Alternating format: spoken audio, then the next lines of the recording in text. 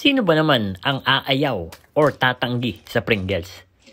Pero teka, hindi ito yung original. Ito ang homemade Pringles na hindi mo na kailangan bumili pa or gumastos ng mahal. Let's get it on. Meron tayo ditong isang buong malaking patatas na ating binalatan at pagkatapos si ating pinakuluan. So malambot na yan. Ang gagawin natin ngayon ay gagamit tayo ng tinidor upang ito ay i-mash. Kung meron kayong potato masher, eh, much better. Ang kailangan kasi natin dito, eh madurog natin yung patatas para hindi mahirapan yung blender mamaya. So kapag ka ito ay wala ng buo-buo, eh atin na itong ilalagay sa blender. Ang gusto kasi natin dito ay ma-achieve natin yung smoothness or yung talagang napakakinis na texture So maglalagay tayo dito ng 4 tablespoon ng tubig. Pagkatapos atin na itong tatakpan at isasalang na doon sa ating blender. At dahil nga dinurog na natin yung ating patatas, eh mabilis na lang natin yang paiikutin sa ating blender.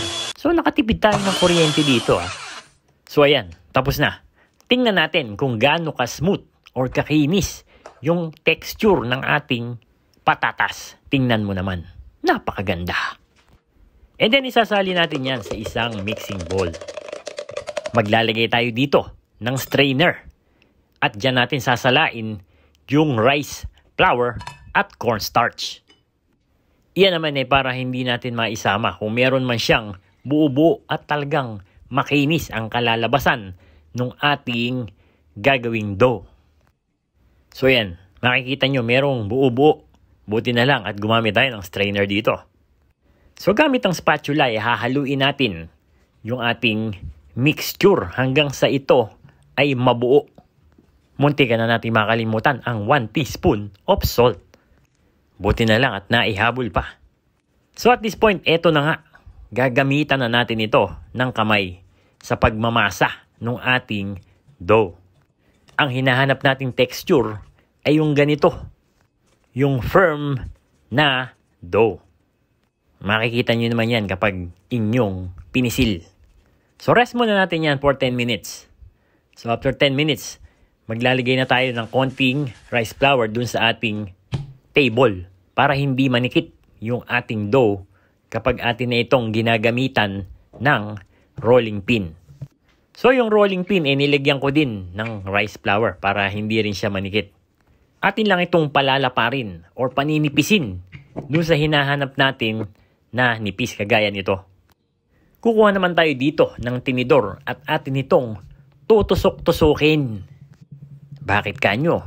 Eh ni para lumabas yung hangin dun sa loob ng dough. At para crispy din siya mamaya pag atin na itong ipinirito. Meron din tayong gagamitin dito na cookie monster. Eh, este, Cookie cutter pala. So ayan, bibilog-bilog lang tayo dito. Para lang tayong naglalaro eh, ha? So meron yung mga sobra, yung mga trimmings, ganun pa rin ang ating gagawin. Gagamitin pa rin natin yung rolling pin at atin itong paninipisin. Para marami tayong magawa na homemade Pringles. So itutuloy-tuloy lang natin yung ating ginagawa hanggang sa maubos na yung mga dough. Basta wag niyong kakalimutan na mag-dust ng rice flour dun sa inyong pinaggagawaan para hindi sila magkadikit-dikit. So ayan, iipunin na natin yan at para tayo makapag-ready na sa pagpipirito. Nagpapainit na ako dito ng mantika at titingnan natin kung uh, ready na. Ayan, lumutang na. Ready na yan. Isa lang na natin yung ating mga Pringles. O nga pala, dalawang beses nating ipipirito yung ating mga Pringles. Ito yung una. Within 10 to 15 seconds lang, eh dapat ahunin na natin yung ating mga Pringles.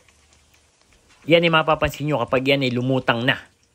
Bilangan nyo ng 10 to 15 seconds. Sa prosesong ito na ating gagawin, ay ma-achieve natin yung crispiness ng Pringles na hinahanap natin. Yung bang original talaga na lutong kapag iyo itong kinakain. So tapos na yung ating first fry. Ito naman yung ating second fry. Sa second fry, eh malakas na or nasa high na yung ating apoy.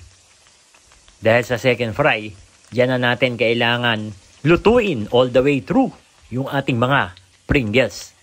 So wag niyong gaanong i-dark yung kanyang kulay para kakulay pa rin siya nung Pringles original.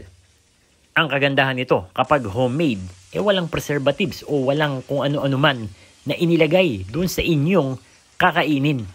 At hindi rin siya sobrang alat. Basta, konti lang ang lalagay nyong asin. At para timplahan natin, ilalagay natin ito sa isang bowl. At ang gagamitin natin pantimpla ay garlic salt lang. Kung wala kayo nito, asin at garlic powder ay okay na. Bigyan nyo lang yan ng toast. At pwede pwede na i-ready na ang ating iinumin. Eto na nga. At tatagay na tayo. And there you have it, KND Nation, mga kadadelicious. Ito yung ating version ng homemade potato chips ala Pringles. Kupaw, eh pagkalutong naman, patikim nga. Alam nyo na ang kasunod nito.